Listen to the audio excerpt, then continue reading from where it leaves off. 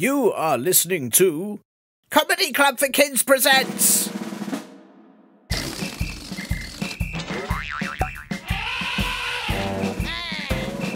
Radio nonsense, radio nonsense, radio nonsense, radio nonsense, radio nonsense. Hello and welcome to Radio Nonsense, the official comedy club for kids podcast that's suitable for all ages from to and everything in between.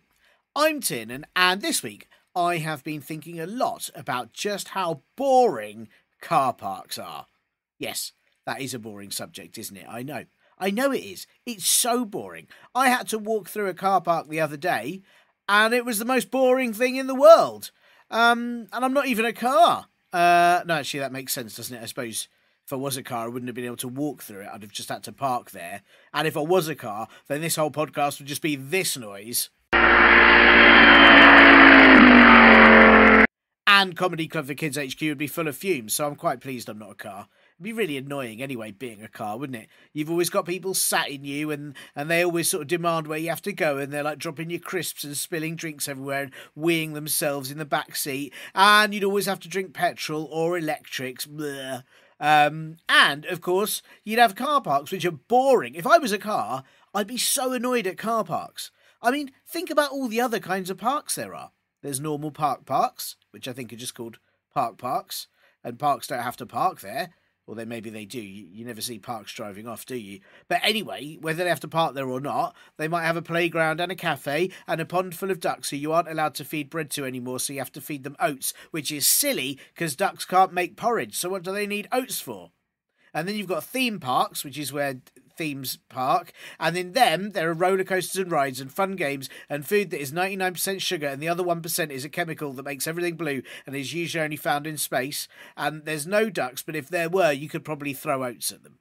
And then you've got science parks, which is where science things happen, and they create potions to make monsters who can then go on slides and swings and feed ducks oats. And then there's skate parks, where skates definitely don't park, they keep moving, so they can go up and down ramps and on swings and slides and feed ducks oats. And then there's deer parks, where deers go on swings and slides and feed ducks oats.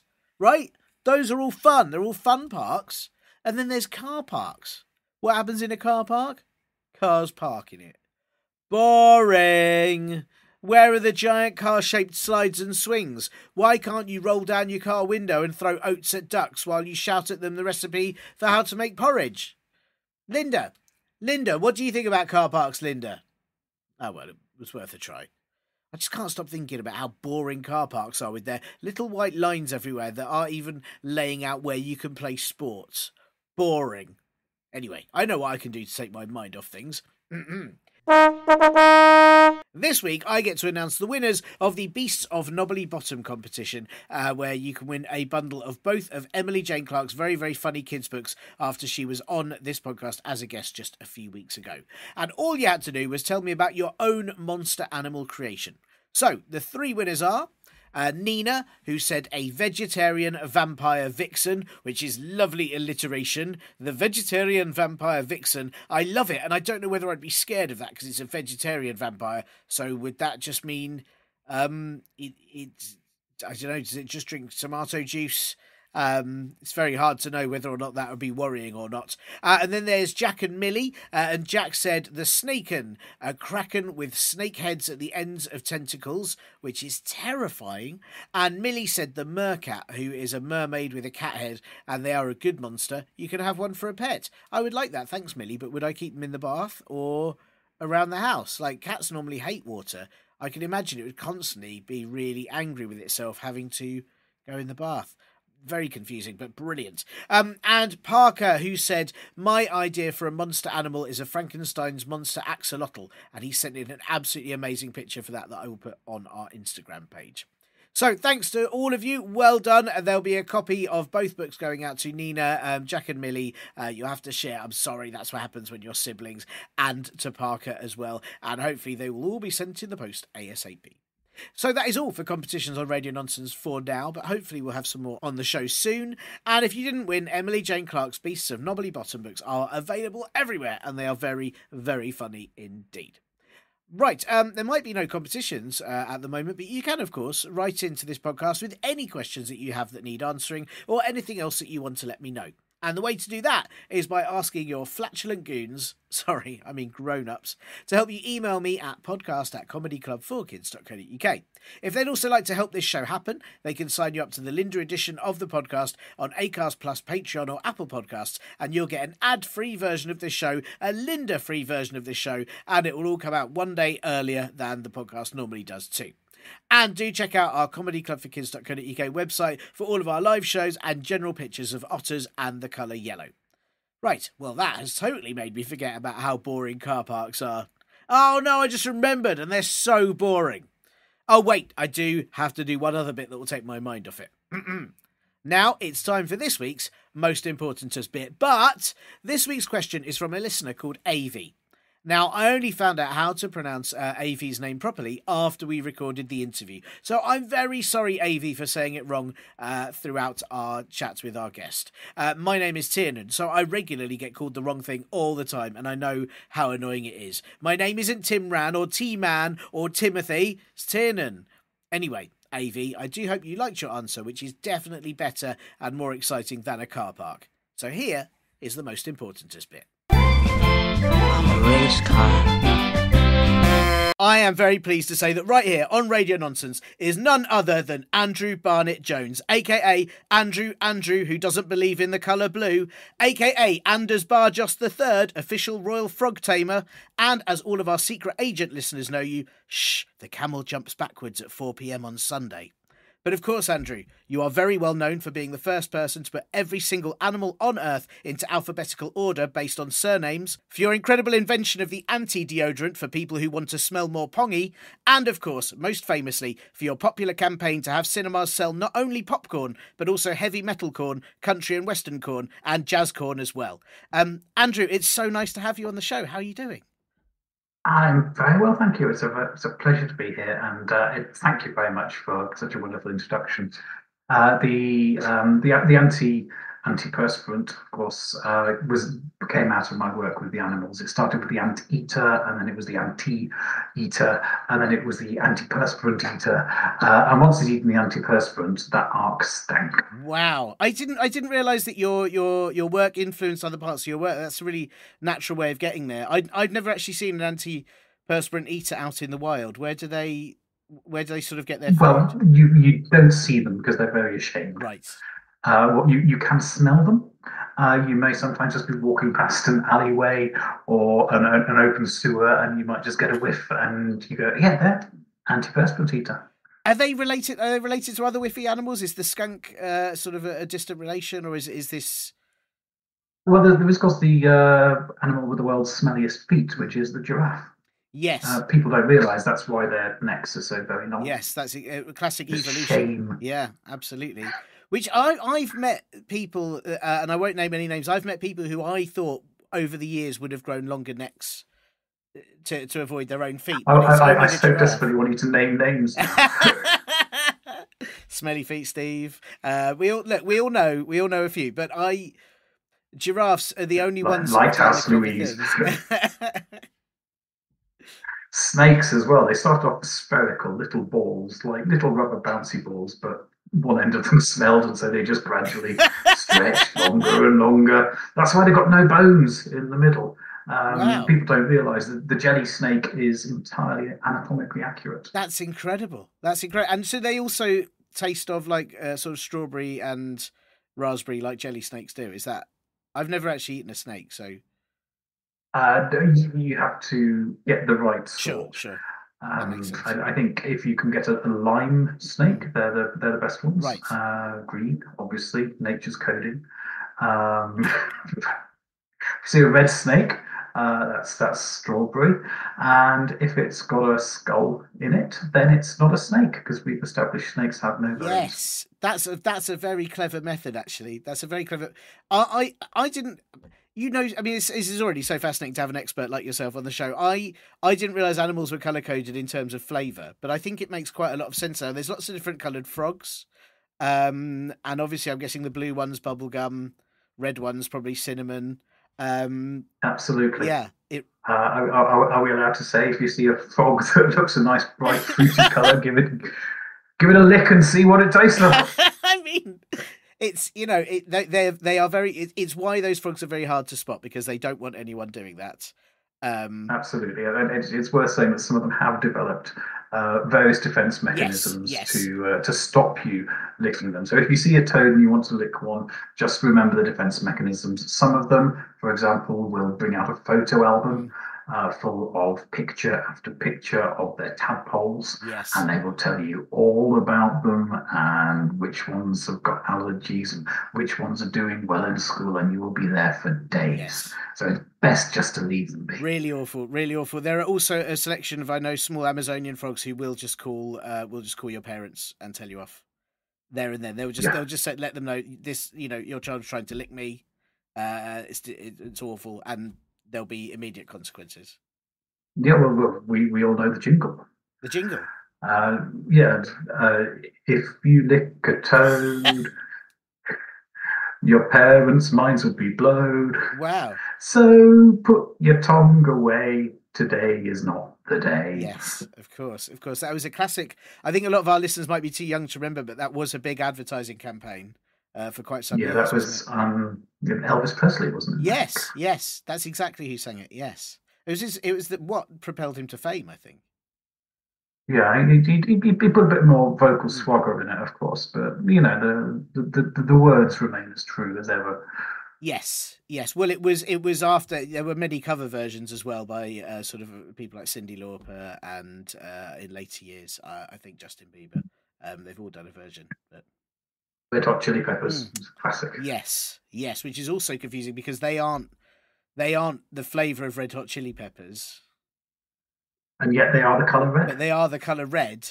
But they It's didn't like get a jingle telling people dancing on stage. Yeah, but there was there was I remember there were some years where they had to they had to say please don't eat me because we're not actually chili pepper and if we were it would also be too hot for you to eat anyway so there's no reason but people still tried and uh, I think um, the lead singer definitely had his knee nibbled didn't he Yeah, that's why I have security barriers at gigs now. If you go there, you'll find they just don't let you eat the acts anymore. yes it's a real shame it's a real shame how times change, I think but I suppose you know we've got to move on as a society. You can't just eat pop stars. Um, you can't just eat sort of uh, the, the famous people that are named after foods, and and you can't go around uh, sort of licking frogs just because they're bubblegum flavour. That's It's, it's, a, it's a sad state of It is a affairs, isn't it? it is a sad state of affairs, but you know, it's uh, it- you know, but but we have we have you know, you are inventing new things. This is you know, times move on, new inventions happen. People can now be smelly because of your invention, and before it was, I'd say it was pretty frowned upon. People didn't really like other people being smelly, but now you've got the anti anti. How many antis is it? Well, it's it's any number. Right. Uh, it's it depends on whether you have an odd or an even number. Basically, Right. it all sort of cancels out after a while. Uh, so there's there's the antiperspirant and then the anti-antiperspirant, which could just also be called perspirant. Right, right, sure. Uh, so you you spray it on you, and it produces copious amounts of sweat.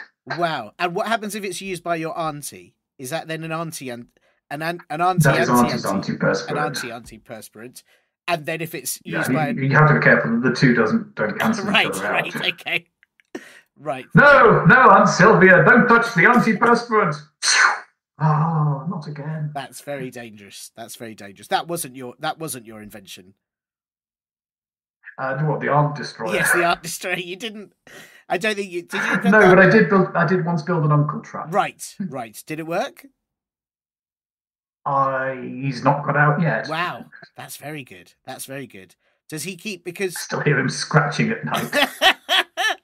Does he keep having to sort of offer you little like sort of uh, because I like uncles are really good for often going around giving you uh, like a, a tenner, a ten pound note, or so you know, try to think of things that or take you to a I don't know a yeah, that, that's why I've got him trapped under the floorboards. Hence the scratching. It's things he can slip between two floorboards. Ten pound notes are good. Mm. Uh, when they ran out, it was sort of sticks of chewing gum, Sure. which was less good. yeah. And then more recently, his fingernails because he's been down there a while. Wow, and they're not as not as nice to chew. Horses for courses. Yeah, well, it's, but that's the, like fingernails. People do chew their. I, I was never. I, don't- I don't know about you. I, I was never a fingernail person who who would bite their fingernails. I went to school with lots of kids who I, did. I thought you were going to say you'd never chewed your own fingernails. Well, I haven't really. I mean, I, maybe I Uh, should. You chewed someone else's. Yeah, no, I haven't chewed anyone else. Well, this was what I was going to say: is people I know chew their own fingernails, but then you never like go out and and people say, "Here's a little bowl of fingernails to start your," you know, you know, like how they give bread at a restaurant. It's a little something I made myself. Yeah, exactly. it's- a it's- little bowl It's polite, isn't it? It's home cooking in a way. Well, that's it. If a red snake can taste of strawberry, And you know, a, a they're forever growing. pink florid man like me can taste of blancmange. Nibble my fingernails. I mean, Nibble them now.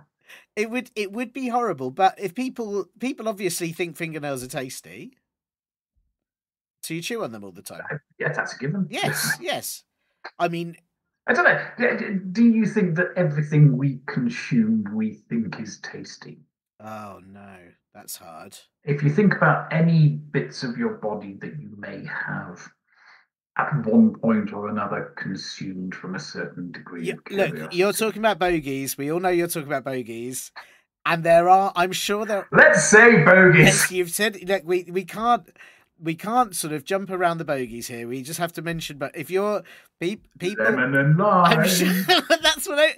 If they are the color green, they must taste of green things. Potentially avocado, potentially um, uh, pea soup.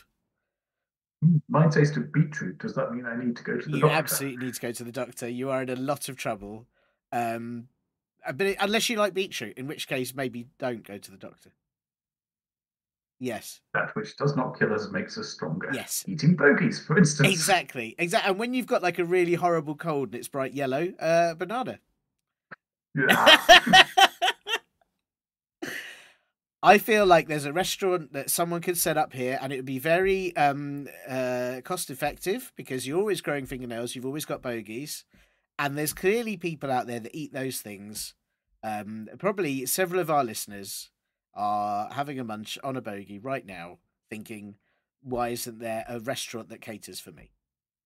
Well, I think the deeper question is, is, is, is might there already be one, and it just hasn't told you? Uh, Have Have you ever been to a restaurant where the food comes out and you go, "Hmm, this is delicious," but I can't quite place the texture. oh no, it's Just wondering. that's Just wondering. That's an awful thought, but it would explain. There are some chefs that do very strange combinations of food. It would explain a lot, I think. Yeah, I I'm very I'm I. This is why I don't go out to eat at fancy restaurants. I think just to, the, the, the, risk is the too risk high. is too high. I don't know what that Michelin star is for. well, Michelin, of course, is a tire company. Hmm. So I, we don't. I can only assume that some tires are going into that food at some point. Because why else would there be a connection between Yeah. the two? They like the food that's most rubbery tasting, and uh, yeah, most likely would work stuck to a car. That's that's what they give Mhm. stars for. Yeah, and food which, when you eat it, makes you look like a gigantic white wobbly man Yes. made out of tires. Yes. Yum yum yum, big portions. Yes. Now he was. I should. I, I don't know if the listeners will know about that. I, I don't know what that character was called. The Michelin tire person. He has a name. It's a really, really weird name. Wow. Okay.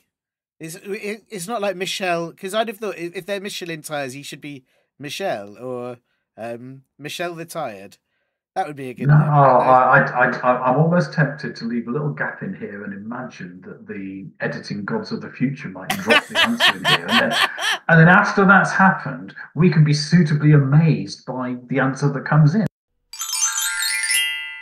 Wow. So um the uh just through the power of our own incredible memories, this has both come to us. And um Andrew, the, the Michelin tire man's name is Bibendum. Bibendum. Bibendum, Bibend- that's bibend, it, yes. Which is Latin for I'm made out of big wobbly tires. Is that right? Right. Because Yeah. I I thought it was um I, I just assumed that he was named after a dramatic bit of music like Bibendum. You know, like wherever he goes, people are a bit concerned. Bibendum.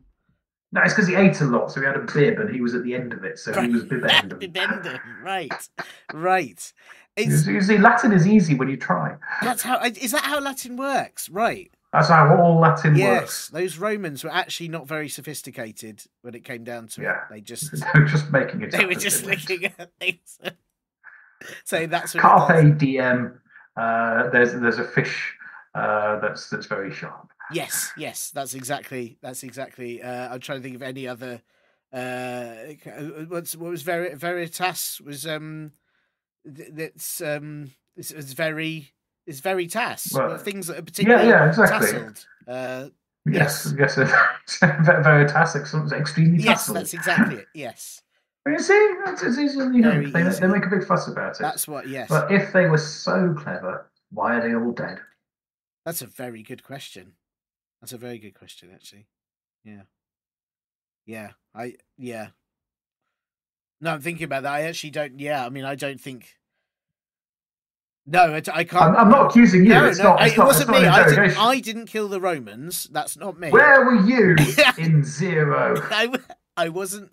I wasn't there. I I can. Well, I can't prove it. Actually, that's very hard. That's very hard to prove. I wasn't at the fall of the Roman Empire. Ah, Um, you know who else wasn't at the fall of the Roman Empire? you. Queen Oh, Victoria. Queen Victoria. Right. Well, Do you know what this? So you must be Queen Victoria. I, thi- I think I've, Ah. I think that's how logic works. well, Bibendum wasn't at the end of the fall of the Roman Empire. So how do we know that a giant tire monster didn't eat the Roman Empire? We, we don't. We don't. Those who do not know history are doomed to repeat Well, it, that's it. and uh, possibly doomed to be eaten by a gigantic rubber tire man. It is. The, it is the problem with history. It is the problem, and and for all we the know, rubber tire man coming to yeah, it's well, well, what I was my my worry, my thing with that tire man is if you were made of tires, all you need to do is fall over once, and then you'll bounce away forever. And I don't know how he could live like that. I would be terrified every day. What if I tripped over something, and that's me? I'm either rolling or bouncing away forever. It's, it's, it's, a modern tragedy. It is. It is a big. Uh, I mean, the question is like how hollow he is. Could he get a puncture? Oh no, that's a Would he very know? sad thought, isn't it? Would he know? Would he have to keep one hand over his knee for the rest of his life? wow. What are you doing? I've got I've got a slow puncture in my left knee. Prove it. Take your hand away. No, no, do it. He must be I regret nothing. Uh, his arch nemesis is a porcupine, and uh, wow, wow. Well, listen, Andrew. I mean, already I feel like we, we have learned so, so much having you on the show. Thank you, thank you again for coming on. Um, I, I've got a, I've got a question, sort of two questions actually that um that I think you are the person that can answer them. Um, but before I ask you them, um, how do you feel about admin? How are you with admin? Admin. Yes, ad, admin. Um, I'm I'm fine with admin. Yes, is that a, is that Does, a, does it come? with- Does it, does it have a little paper clip in the corner of the screen that's going to try and help me out? who's going to try and help you? I was going to say, is that a Latin? Is Oh, that damn it! All the kid-friendly references you'll see. Is that is that um, is that a Latin? Is that Children, there was a thing called the Michelin Man, and while they're at it, there used to be a thing which sat in the corner of your screen, and there was a paperclip and said, "You looks like you're trying to write a letter. Would you like to get it wrong by yourself, or would you like me to help you do it faster?" I also like the idea. They may not even know what a paperclip is. I don't know who who, who clips paper together anymore. Do people know eh, have paper? Everything's on a screen. Yeah, screen clippers. Screen clippers. But then that's annoying because you You just clip your screen to someone else's screen, and they'd be like, "Give me Hmm. back my screen," while you walk off with someone else's tablet stuck to yours. That'd be terrible. We're, we're, we're, we're a very short distance here from being two old men shouting at clouds. it's, it's it's not it's not that short. Just I, it, I think. Oh, in my day, you had to clip paper together with small twisted pieces of metal. These days, it's all screens, of course. I You know, I, I got locked out of my house the other day and I had to unfold my tablet computer and use it to try and pick a lock with. It's not the same.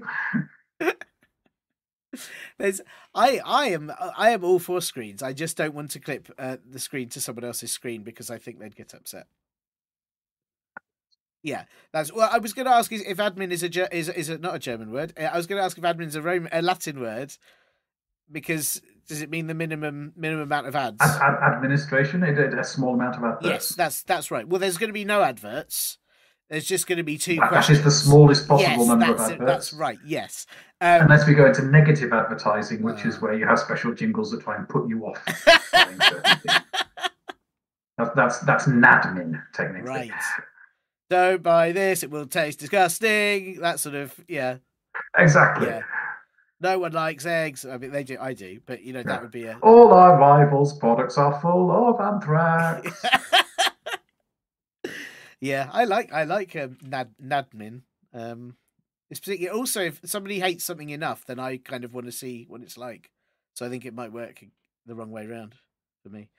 Um, well, listen, I've, I've got two admin questions for you, and I hope I hope that's all right. The, the first the first one is very simply, um, what is this? Ooh, it's a big one, isn't it?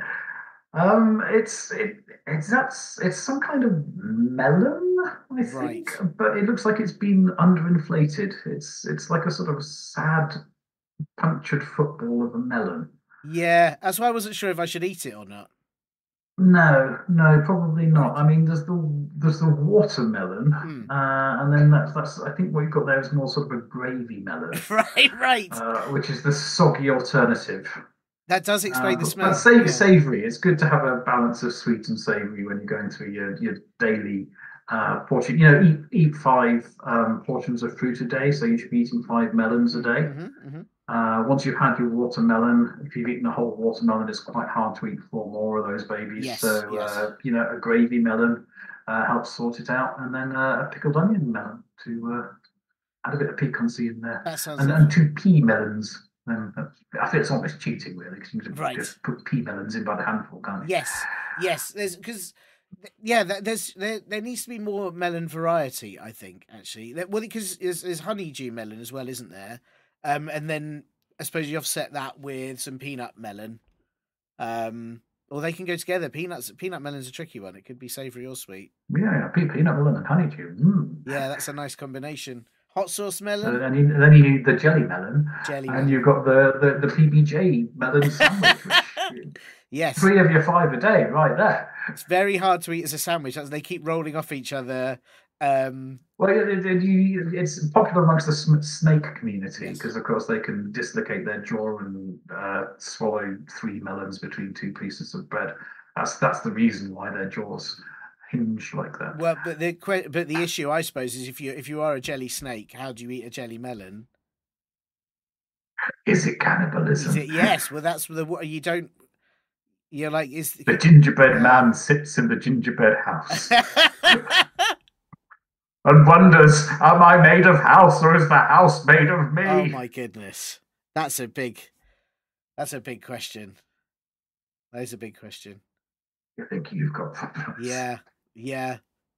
Well, again, the gin, you know, the gingerbread man. uh, You know, we're talking about the the the Michelin Bib- Bibendum could get one puncture. The gingerbread man just trips over. That's his leg snapped, and then someone will eat it. Yeah. And it, well, who's going to eat it? He's right there. Yeah. and it's so tasty. And if he can't crawl away to find other food, it's a dilemma. Yeah. And and your only protection is a house that people could also eat. And like you, you really Possibly made of your relatives. We just don't know. I think this is why you don't see them in the world anymore. I think they've No, Yeah. no. wow. Natural selection. Too tasty to live. Yes, yes. It is well, that's their fault, you know. That's their, they should have don't see so many jelly steaks in the wild anymore. yeah, they, they need to develop these frog like defense mechanisms and and uh, they'd all be fine, but sadly not. Yeah. Com- complaining about their uh, holidays being disappointing. That's another one. Yeah. yes. um, well, I, I, I've uh, thank you for identifying the gravy melon. Uh, I'm gonna have it with some um, chip melon, uh, probably, and a pie melon. I think that's probably gonna have to be the way forward. Um, I'm slightly concerned that it was posted through the letterbox as well. It, it really doesn't look in good shape. But that that was probably why it was so hard to um to identify. You've got the you got this, the sad feeling which is related to having too many soggy melons. Yes, yes, yes. So The well known. melancholy. yeah. Uh, yes, yes, that's that's exactly uh, that's exactly why it's called that. Um, well, thank you, thank you for helping me uh, d- deal with these issues. Um, the the second question, this one is, I'd say this is harder. So I hope you, you know, please do think about it. Please do listen to. If you need time, you can have time to to, to deal with this. Um, Okay, let me just get my get my brain polishing cloth now. please do. Yes. Okay. There Ready? Brain feeling polished. Yeah. Do you do you use it before the question or or after the after you've heard it? When does it? It, it depends how hard the question is. Okay, well, I'll wait and see. Um, Andrew, would you rather accidentally make rice pudding appear at the least convenient moments, or have a stretchy elastic chin? I thought you said this was a hard one. It's the stretchy elastic chin for the win every time. Are you sure? I, it has an infinite number of uses. I, I'm immediately envisaging plucking it as some kind of percussion instrument. Particularly I, I, I do like stroking my chin when I'm thinking. So just the ability to then go, look how much I'm thinking, and then go boom, boom, boom, boom, boom, boom, boom, boom. But, well, you see, you say that as though it's a positive. Would you be able to get anything else done? Because you you stroking your chin would take. Why so would long. I want to get anything? and and then playing it as an instrument would take so long. Yeah. You. So I've, I've, got I've got you know my career will be I will be a, a concert mm, chinist. That's true uh, and you know, maybe a little chamber quartet. Find someone with a, an elongating nose and a couple of people with trick elbows, and uh, we can make beautiful music together. Yes, that's nice. That is nice, actually. That sounds lovely. I, Yeah. I sort of had a fear that you'd get it caught indoors or get, you know, get it wrapped around a pole or something. Then you cut like if you're on the on on a train. Well, I'm, I'm, I'm, I'm envisaging it having no no feeling in it particularly. I mean, if if that is the case, then that does change things rather. But I'm, I'm sort of thinking if it will stretch a long time, if you can whirl it around like a lasso and use it to, you know, climb up tall buildings, break into banks, the, the usual. yes, yes. Um, that that would be cool as well. You could be a superhero, uh, Chin Man. You'd be super villain. I think if you're breaking into banks, you- you're a super villain. I don't want to ruin things for you there, but I don't. Think... It's a it's it's all it's a matter of right, sure, sure, yeah, right. I, Uh, topologically speaking, if you just invert the notion of inside and outside, um, I, which you can do with the sphere, Mm. um, I, I, I know maths, um, you simply redefine what the inside of the bank is, and you're breaking out of the bank. right. uh, oh, I uh, see. I see. uh, okay. Where I shouldn't have been, oh, into the inside of the bank where all the money happens to be. Now, obviously, all of this money shouldn't be here outside of the bank. I better take it with me Right. back inside the bank. I see. I see. Perform an inversion with respect to the bank. Wow. Wow. I mean, I still, I think the fact you thought it through that much is more supervillain than super. I think that that still sounds to me more like a supervillain plan. I, I like the fact you thought I thought that through. it sounds like the sort of thing it took the words to you would have said as a big mouth. speech just before you were defeated. That's the.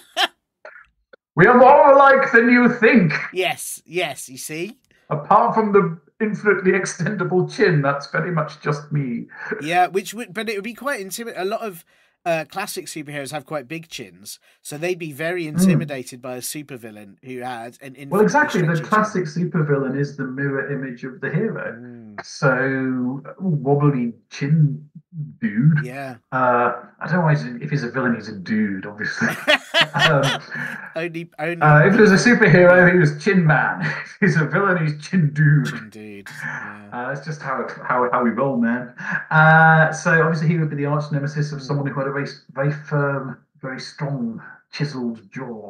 Would you would you go for a mask that covered everything except the chin, or would you or would you go for a sort of ancient Egyptian Tutankhamun like long chinned look? Ooh, I like that, like a like a chin piece. Yes, yeah.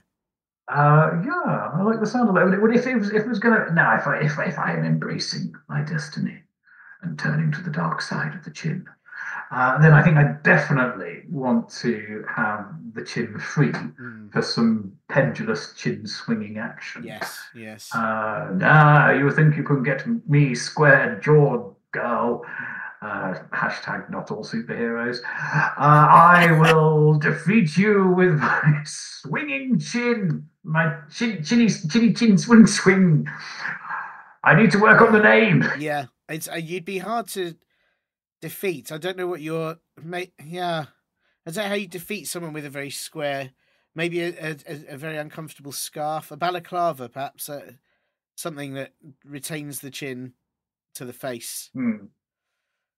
I, I like the idea of a very uncomfortable scarf because that would be quite an achievement amongst the scarf community. Yeah, it'd be really, it'd be really, no, it's so so made itchy of blades. very. I thought just really Oh, scratchy. right, okay. Now Yeah. I went blades. You went no. The material Yes. itself is made from a hundred percent cotton-rich That's wool right. fiber. So when your chin swung, it would itch. You it would itch against it. It would itch and scratch. And you'd be like, "This is unbearable. I don't want to Oh, wear this." Now that's a super villain. Yeah. Itchy neck man.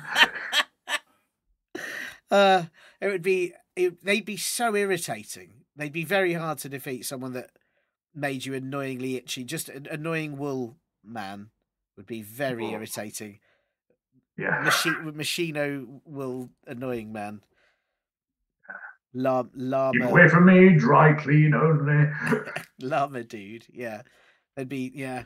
I, I well, I, I like how quickly you chose that. I think um you didn't even you didn't even I've, I've, I've somewhat dismissed the, The uh, rice the, pudding. the porridge. yeah. And uh, rice pudding, your pardon. Yeah, well that was it. You didn't even Uh, know what I, it was. I yeah. dismissed it so much. They, they, those are the same substance. Is that right? Uh, rice, rice pudding and porridge. Right. It's, it's the same. And wallpaper paste. Those three things. Just just so just clever, yeah, clever advertising to make you seem like you've got three because often people do have those three things together and they they haven't realised. The thing which put me off was, was uh, that one was the phrase "the least convenient moment," um, because you know the chin, the the, the, the Yeah. elongating chin was just an out and out You have it all weird. the time. Yeah. Whereas whereas anything followed by the phrase "at the least convenient Yes, moment" just kind of feels a little bit like, uh, oh, I don't know. I've I've seen that sort of thing go wrong before. Yes, that is true. That is true. It would You you have the biggest birthday cake in the world at the least convenient moment. Yes, that's true. As I am balancing on a tightrope across the um, the great gorges of America, here's your cake. Ah! You big rat. That is that is true. That is true. And uh, yeah, you're right. It would it would happen incredibly. Yeah, there's it would be. It, I think there would be an awful lot of rice puddings in toilets. Unfortunately, I think that would be probably the most basic level, all the way to in someone's face at like a big UN meeting. Although that could be quite funny. I mean, there, there's probably comedy value. But, but if, it, if it was funny, it wouldn't It be wouldn't the be least convenient, convenient. moment. Yeah, yeah. It's the, the, the, the devil is in the detail. I think just I'm imagining sort of the end of the movie, the guy and the girl are finally facing each other, sparks are flying, and then rice Yes. Yeah. everywhere. It'd be moments like, well, I'm luckily I can't be defeated except by Tobey Maguire dangling upside down, Yeah. Kirsten Dunst going upwards, rice pudding flying out of Spider Man's eyes, why, why out of his just everywhere. Why are you crying? I'm not. It's just rice pudding. That'd be the most horribly uncomfortable to have rice pudding out of your eyes. I think would be up there with a eh, awful scarf. That is that would be the most uncomfortable thing. Rice pudding eyes and uncomfortable scarf, man. It's the Yes. comic book series no one is asking for. But you but you do bring up the the the the the good point. I think Spider Man as a hero, if he could shoot rice pudding instead of web, that would have made for a wonderfully different tale. That's Oh, he was going to, but it just didn't scan in the song. yes. Yeah, would- Spider Man, Spider Man does whatever a spider can. Shoots a web any size, fires rice pudding endlessly out of his eyes. Hang on, that doesn't really scan. Yes, yeah, that's uh, it. It's a shame though. It's a shame. I think, uh, and uh, you know, and the rice pudding companies were very pleased with that. Um, maybe, maybe that's why it didn't didn't work. Yeah, I, I think it turned out to be an early form of an advertising. Mm, Uh, rice pudding sales just I think so. a Well, and then there was that. also the problem where people realized Spider Man wore red and blue, so it was probably sort of strawberry and bubblegum flavor, and then he got eaten, and um, that was uh, that was a pretty awful last episode. Uh, yeah, by the lime goblin. By the Lime Goblin, yes, it was a very tasty show. Rice pudding, lime goblins. Wow. tasty spiders. um. Wow. Well, Andrew, I'm I'm so impressed. I'm so impressed with how uh how quickly you answered that question, but also how much thought you put into it. I think you know. I think a stretchy elastic chin is clearly clearly the way forward. Um, you're absolutely right. Uh, well, well, look, we've we've we've hit the main question. I say main question. It's sort of two questions. Um, we've had this question, and it's been sent in by, I think, uh, Ave. I might or Ave. I'm not sure if I'm pronouncing this right. A A V E. Yeah, I think it's short for Avenue. Avenue, right? That's it, Avenue. So we've been sent this question by Avenue. Do you think? we- Do you think an entire Avenue has sent this question as a collaborative question, or I, I think so. I think they probably contributed one word at a time. right? That's nice. That's very very hard. And they just they just passed the piece of paper down the street and gone write a word on this. It might. Do you know what? It makes this question make a lot more sense if that was, if that was how they did it. Yeah. Um. I right. Well, thank you. This entire avenue. Um. I don't know where you are in the world, but thank you for sending this in. They they say I'm ten laughing snakes old. Um. I don't know if you, how you're, how you are with your age charts, but I worked that out to be around fifty four. I think. In in snake years. Yes. Yeah. They don't say if it's jelly snakes or, but you know, Well, laughing snakes. There's a I think there's a, there's a big connection between laughing and jelly. Yes, wobbling. Yes, it's the same amount of wobbling. Yeah. Yes, you're right. You're right. Yes. Well, so probably about 54 then. So an entire avenue, maybe that's their collective ages once they've divided, they've added everyone's age together and divided it by the amount of people, or, or perhaps they're all just exactly the same age. It's, it's very hard to tell uh, w- with this lack of detail. Um, but Yeah, I think what people should do in streets is you should only live in the house that is the same number as your age. It would make this sort of thing much easier to work out. what happens on your birthday? Do you have to get out of your house? You move house, everyone moves one sure. up. Yeah, that's quite stressful. I mean, you, you you have to share the house with everyone in the street who is that age. Right. Yeah. It's quite You want to move into number eighteen? It's a party house. but then number sort of 104. It's quite sedate. Hey, I live at ninety-eight. It's a It's- terrible smell of talcum powder.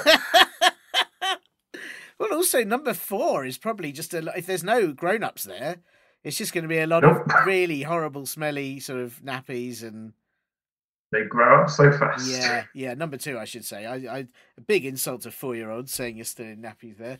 Um, but uh, the number two, pretty grim. Um, it's I, I also I'm sorry, I am just laughing because you said the phrase number two. number two, yeah, Um, number two, which Obviously, I shouldn't be living at 98. I should be living at 11. yeah, yeah. But the but the fact that number two would also be filled with poo simply on the basis of uh, and that's beautiful. That's beautiful how that how that came together. Um, I yeah, I um, I just feel the stress of the stress of moving house is quite a lot. And the fact that it'd be happy birthday, get out, and you'd have to then do something. There's something very Uh, horrible about do, do- do- do it to the tune, you know. Happy birthday, get out. Happy birthday, get out. Happy birthday, start packing. Now release the hounds. that makes it better. And then a birthday cake arrives at the least convenient moment. Just Always, as, and it's yeah. made of rice pudding. Yeah, that would be terrible. What a terrible, what a terrible. Well, look, you know, hopefully uh, for this avenue they are uh, of different. Well, I hope that isn't the situation on this avenue. That's what I'm. I'm they've got it together. They've sent these two questions. Um, the first one is sort of, sort of a question. So, would you like both questions all at once? Would you like them in reverse order? Would you like? Can I have one of the questions all at once? You can have one of the And questions. then the other one later. Yes, that's fine. That's absolutely fine. You can perfectly have that. Um, question one then uh, is: Do you? I'm like eating bed frames for breakfast. That's a good Hmm. question. Mm. Uh, because everyone knows about breakfast in bed. Mhm, mhm. That is a grand tradition of our time. And this is just, I think, suggesting, as far as I can tell, taking it one step forward and having beds for breakfast. Yes. Yeah. Which. There there are there are hotels out there which are bed and breakfast. Uh, this is your, your your bed is your breakfast. yes. Yeah, and it, and it obviously You can make a sandwich. You can make a bed. Add it up, people. Well, I think it makes sense having them for breakfast because if you had them for dinner, then you'd have nothing to sleep in at night time because you'd have eaten your Yeah, bed. yeah. yeah. Yeah, so I, I think the question is what sort of food would make the most comfortable uh, bed for the night? And then you wake up in the morning and you consume the bed, and then you are ready for the day. Yeah. I'm imagining a sort of taco. That's right. That's that's nice. You're sort of folded into it at night, and Yeah, then you have to eat your way out. Yes, Yeah, or it could be a bunk bed, and then you've got, you know, savoury below, sweet up above. that's nice. Well, then you could have like wafer biscuits. Would be quite good for that. You know, when you get those Oh, like yeah. stacked wafer biscuits, that would be um, that would be decent. I mean, we mentioned gingerbread houses earlier. I don't see why a ginger a ginger bed a ginger bed. Gingerbread. Ooh, Yeah. I like it. Brand name. Mm, that's it, ginger bed. Trademark that. Yeah. Gingerbread. yeah that that could that could be quite nice the the issue i i suppose i have is that you, when people uh you know people sleep they sort of they they move around a lot people look quite a lot of people fart in their sleep um and then you'd have to wake up and you'd have to eat the gingerbread that you farted on Yes. Yeah. But if you yourself are a gingerbread man at this oh point, yes yeah then isn't your fart a delicious cloud of um, Bum- sweet ginger? bum ginger yes yeah yeah uh, but but very possibly that's true Have you have you never smelt a gingerbread man's fart? i do you know i have i have not i don't know Next time you get a gingerbread man, pull its finger off. but that's the sad thing is it doesn't you don't pull its finger like as you said it pulls its finger off and then then they're often but sometimes they do fart out of sort of upset don't they a sort of Yeah, scared yeah. Pull my finger. Ow! ah! yeah Not that hard, you brute! yes yes that is true yeah well i will i will have to smell i never thought of that i just sort of ate them which is quite cruel same with jelly babies um i guess they do jelly jelly farts yeah Yeah, Yeah, yeah, absolutely. yeah. Little squeaky ones. yeah but, but we're talking like squeaky wobblers. Who, who in their time has not done a squeaky wobbler? Often, as the phrase goes, at the least convenient moment. Yes, absolutely, absolutely. It's Ah, Vicar, how very pleased to meet you. It- I wonder, you know, back to the Michelin Man. Surely every fart that Bibendum does is a. If you're a tire and you have to release Rubbery. air, yeah, there's a there's a that's an awful sound. Um, Rubbery with a certain asphalt texture to it. smells Air you can chew. like sort of burning rubber. Uh, that's uh, awful. Yeah, and that's how he started. He had a book. oh, hmm, five stars. and it was just originally a list of places where he'd farted Yes. on his motor travels around Europe, and he'd given himself star ratings. And then his wife found it, and he was just just embarrassed, Mm. as, as I think is understandable. Yes. And he just lied his lied his rubber head off wow. and said, "This is a guidebook to the best restaurants in Europe." Wow. Wow. But I guess that must have been awkward when he had to then take her to the restaurants that were just places he'd farted. Many of which he'd been barred from. Yes. Wow. Wow. It's a he's I feel the more we talk about him, the more I feel quite sorry for him and his his life. You know? He's had a hard time. He's, but he can smile through it. He's got little choice. He's got rubbers for Yes, tires that's for true. lips. Yes, yeah. Yeah. Well, you know, if he if he I'm guessing he would eat a a a, a rubber tired bed like what because we're just you know if gingerbread people are on gingerbread ginger beds but you you were saying you'd you'd ideally go for a taco um Mhm. you know i think it I, I, what that- what it's my intention. I've worked it all out. I have a plan of a taco.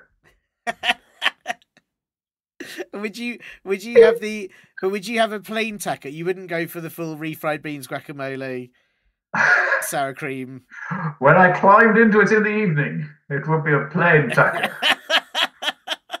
when I got out of it in the morning, it would be refried beans. that's see that's that's horrible and then there's no way That's that's how they make refried is that beans. is that it that Oh come on! lot, the, the- yeah. the clue is there in the yes, name. you're right you're right They don't disguise it. It, it is quite clearly.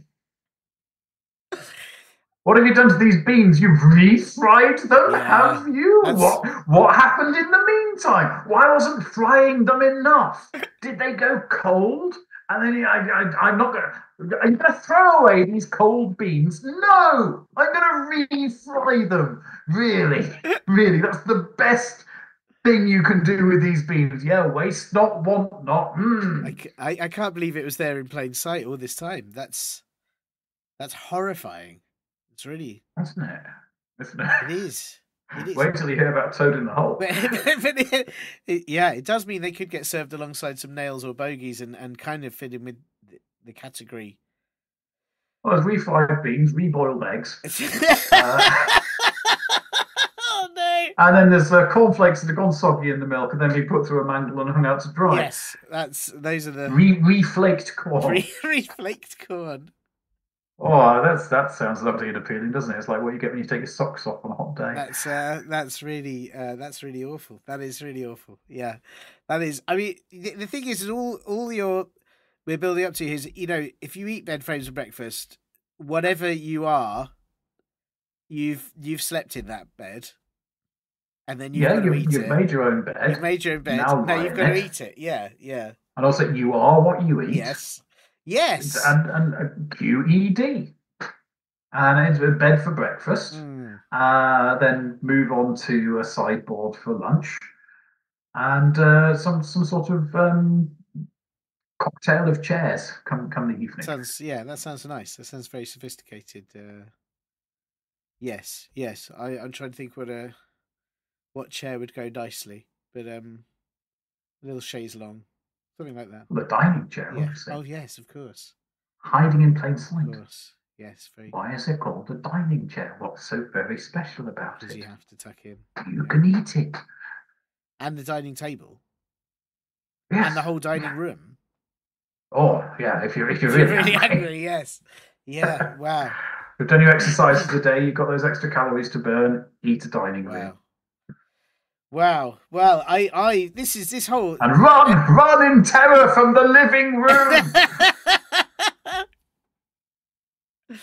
oh no, that's uh, yeah, that that's that's a very scary thought. I'd never thought of the living room as like a, a monster, but it, it it explains why you can sometimes get stuck in the sofa. Sofas often look like they eat people. yeah, Yeah. yeah. They're a lot bigger than you think. Uh, they're they they. That's what I call so far. Right. um, right. because it's a perspective thing. They get closer and closer, and you realize exactly how big they are, and then the cushions consume you. That's wow, wow, wow. Unless unless you call them a a, a, a couch a couch a coach, and then they drive you Now, places. have you ever heard of a couch potato?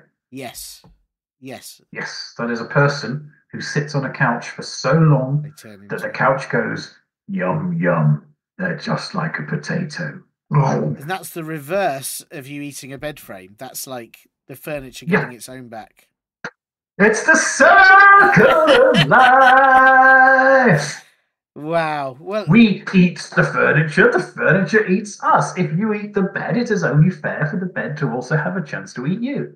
if you, I, I'm sure I saw a diagram in biology once. you're right. It's what happens when you're tucked in too tight. That's absolutely the, the Yeah, of it. yeah. It starts to digest.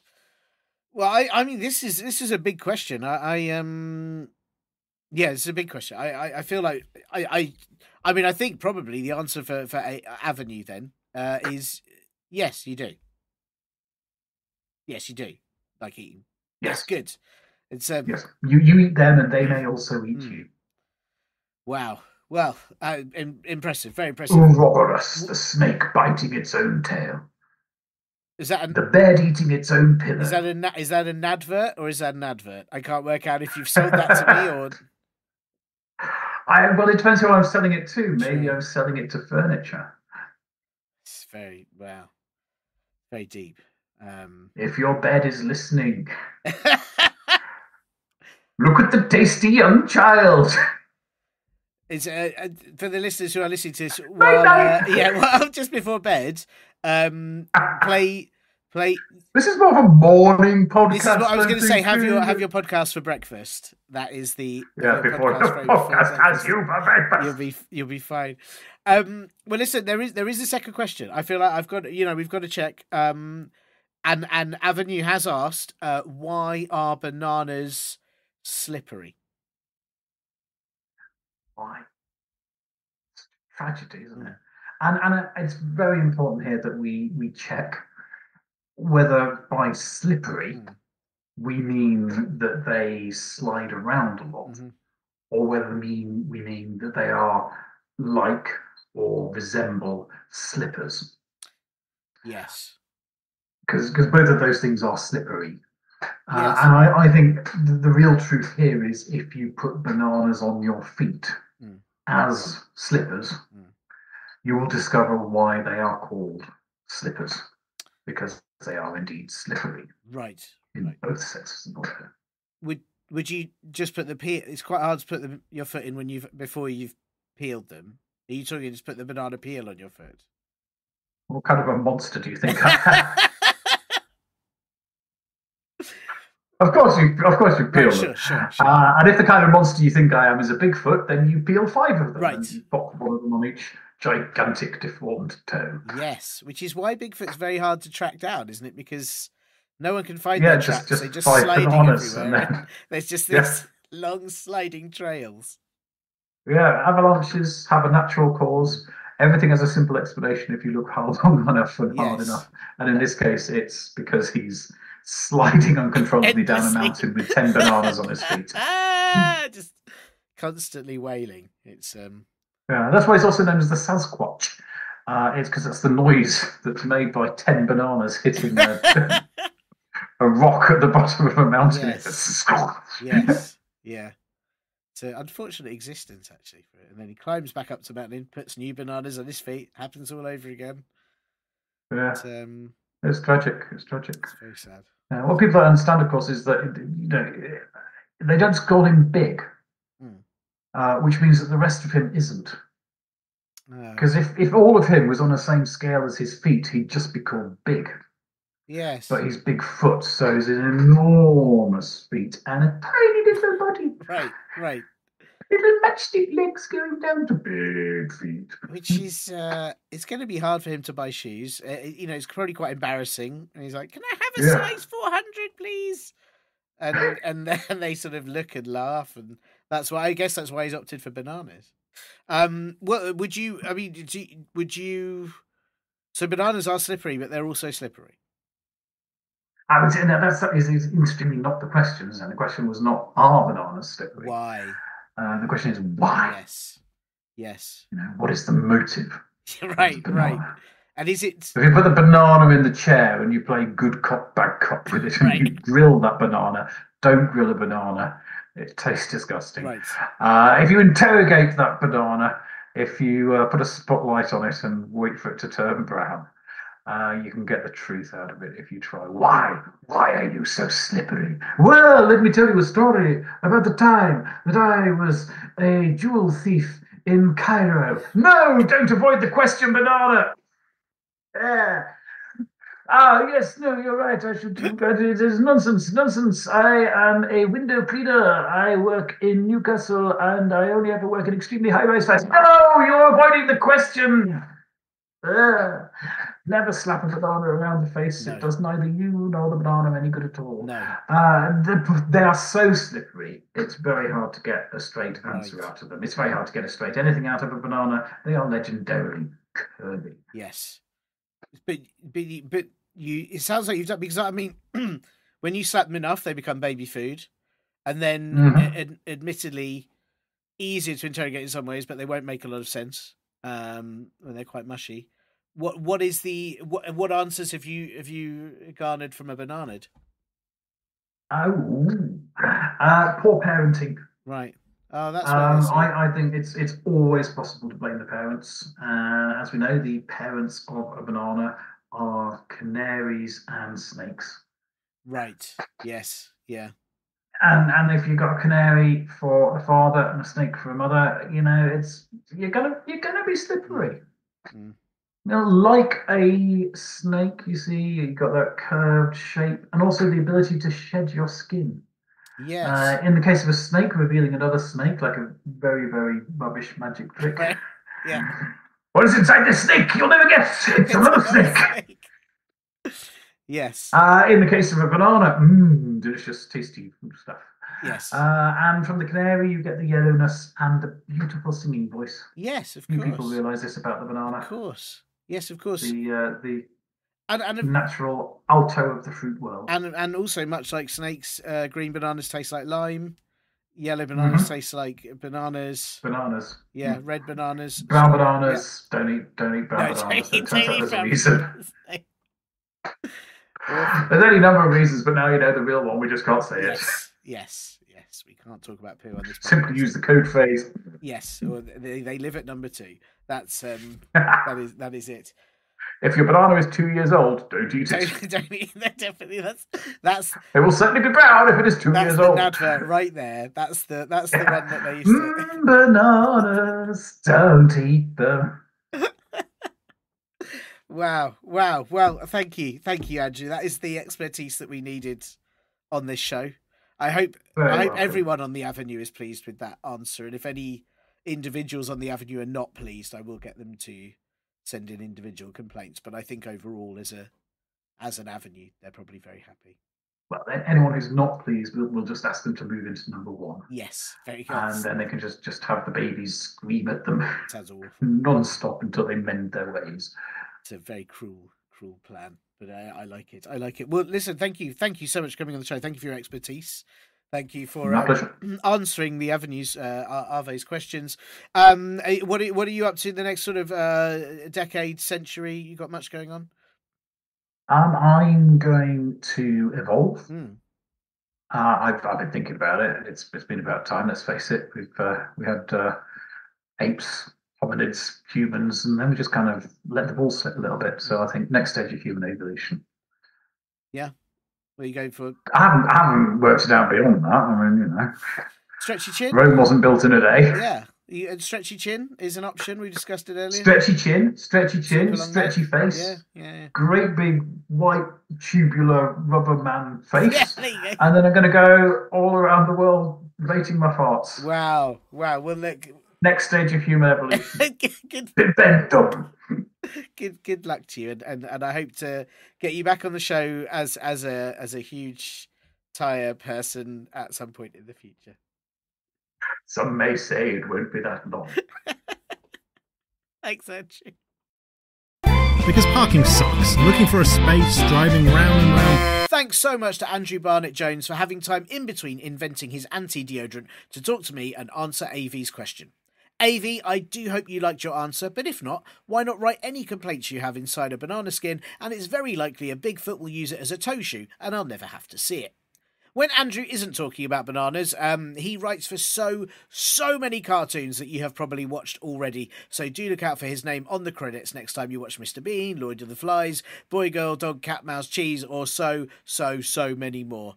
Um, and if you have a question that you need to have answered, then please do get your flatulent goons, sorry, I mean grown ups, to help you email me at podcast at comedyclub4kids.co.uk. And if those grown ups want to help make this show happen too, they can sign you up to the Linda edition, which is advert free, very Linda free. It's very even more Linda free than this uh, edition, and it comes out one day early too. And they can do that on Acast Plus, the Comedy Club for Kids Patreon page, or Apple Podcasts. And go and have a look at comedyclub4kids.co.uk too, because there's stuff on there like videos and where all our live shows are, and other things. Well, um, I think after all that, I've very nearly completely forgotten just how boring car parks are. Phew. Uh, hello? Oh, it's the Comedy Club for Squids. What have I done to annoy you now? I haven't even been near water this week. You've got information? Okay, consider me listening. Car parks are actually carp arcs, and if you look closely, there are lots and lots of carp fish that hide in them for safety. Is that right?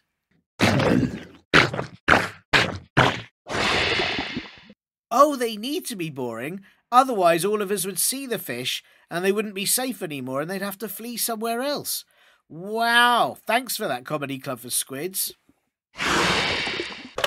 Well, I see. Right, well, car parks are actually carp arcs. Very clever, very clever. Wow, that changes my whole mind. They are not boring at all. But hang on, wait. Does that mean deer parks are actually D-parks? What does it mean? What does what hides there? What are D's? Oh, that's going to bother me forever, and I'll never stop thinking about it. I almost wish I was a car. Bye. You have been listening to Comedy Club for Kids presents.